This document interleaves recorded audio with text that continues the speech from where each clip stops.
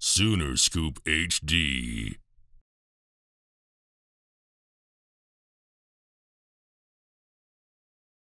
DJ, I'm sure you're excited about going to a spring actually at this position. You want to play this position so bad. So how's it going? It's going great. Matter of fact, uh, it's glad to be back. Glad to be back in uh, the position I've always wanted to play. Yeah. What went into that decision to uh, be asked to move uh, to the offensive side? Um, it's it's something I wanted to do uh, after every season of my college career, but um, I finally fessed up and said, you know, I can't do this no more. This is what I want to do. Is this has always been my dream. So, uh, like me and Mike said, it's better late than never, for sure. So to do it in the middle of the season like that is just a sort of a breaking point for you. It, it you know, what, it was, and I, and I hate that it, it ended up like that. But you know, I feel like my performance is diminishing. You know, every game. I mean, my heart's not in it. So I was like, you know what? Give somebody else an opportunity to actually that, that they love the position. Let them play. You know, let them let them let them have it. Let them have the glory. Let them have the opportunity. And was it a I know you said that your heart's always been that wide receiver spot. Yeah. When did it start feeling more and more like it was heading in that direction? Like I said, this this past year, um, it's always felt like it's always felt like that after every season. But you know, after this year, I was like, no, this this isn't just this isn't right. It doesn't it doesn't feel right. It hasn't it hasn't been feeling right. So I was like, I like I said, better late than never. You know, got to make the decision. What did that work? look like? Just because working on the field snaps on Saturdays, what did that look like week to week after you'd made that switch? Uh, it was it's a lot of scout team work. Uh, it was my first time being on scout team, but it was great practice. You know, I'm going against Brent Venables defense. It was making me better as a as a receiver, and it was just getting me back in the groove. You know, it was a lot of things that I was like, oh, okay, you know, I kind of forgot about that. Oh, I forgot.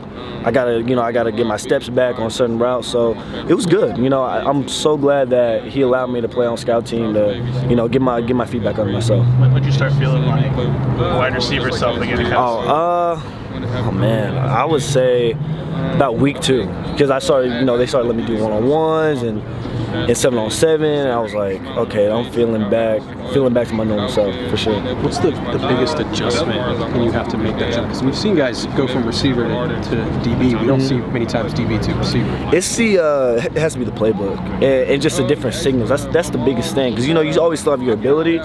It's just, but also you know, like I said, you know, on certain routes, it's regaining your steps, figuring out your steps again, figuring out your stride length. And then it's just that playbook, the, the, those signals, man. It's just totally different. Like I had for the longest, I was like, I was like, oh yeah, that's blah blah blah blah blah. It's like no no no, that's that's something different totally.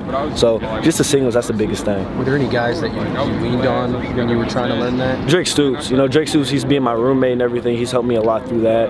And uh, I know Coach, you know, LD, you know he's gone, but you know he helped me a lot. And then, uh, but yeah, Drake Stoops, him being my roommate helped out a lot and uh, he really, you know, gave me a little kickstart. So what's the that? adjustment been like to, to working with him? Uh, oh my God, he's a great, he's a fantastic coach. Um, matter of fact, he recruited me when he was at Tech, you know, also in high school. So, you know, he, he believed in me, and it's good because he starts from the fundamentals. You know, we're, we're a really young receiver corps, and he's what he's implementing right now in, in everybody is is fantastic, and you know, it's just going to be better for us. He's a great fundamentally, and he's a teacher. He's not just a coach, but he's a teacher. I feel like you're starting to develop that chemistry with Dillon a little bit out here. yeah, yeah, yeah, yeah. Um, you know, routes on air also. Yeah, you know, the way he's zipping the ball, I'm getting used to the spin. Being a left-hand quarterback, I've never played with a left-hand quarterback, so just getting used to that spin even. So yeah, no, me and me and Dillon were connecting for sure. So is that a little bit of an adjustment? It is, yeah, yeah. Uh, the spin's a little different, you know. Uh, but you know, once you get used to it, you get used to it. And you alluded to the youth of this quarter, this wide receiver group. Mm-hmm. You yeah. feel like there's a pretty good opportunity for you to to find a role? I think so, 100. Um, percent Like I said, I believe in myself 100. Uh, percent You know, not not knocking anybody else, of course, but you know, we're a young group. We have a lot of talent, but you know, I feel like I could definitely go on the field, 100. percent On the leadership side of things, even though you haven't been in that room because you're not a freshman rolling in. Yeah. Do you feel kind of balance in that and sort of being a leader for that room too? I do. Um, you know, that's gonna come with time, obviously, but you know, there's just certain things that a football player, you know, I could, you know, I could show him the ropes a little bit. You know, just being on the football team and being a college football player. But yeah, like I said, a couple times for sure. You mentioned Drake. What is it about his game, his approach that you maybe want to? Drake. I mean, Drake. He, you know, he lives like he lives life like a pro, uh, on and off the field. Uh, the way he recovers, the way he gets in his playbook, um, even you know his on-field performance. You know the gems that he that he gives, the little nuggets that he always uh, he always drops. You know, it's just who doesn't want to be around that guy for sure. Did you see what Emmett had to say about him last week? No, I didn't. What did he say? I think what was it like? Dark alley. in a Dark alley in in South- Dallas, South Dallas, yeah. I wouldn't want anybody else by my side. I'm, no, yeah, no, I'm telling you, Drake. He's no, he's he's he'll ride he'll ride with you for sure. And you know, making him my roommate, that's my dog. Man. That's that's my dog. Yeah. Sooner Scoop HD.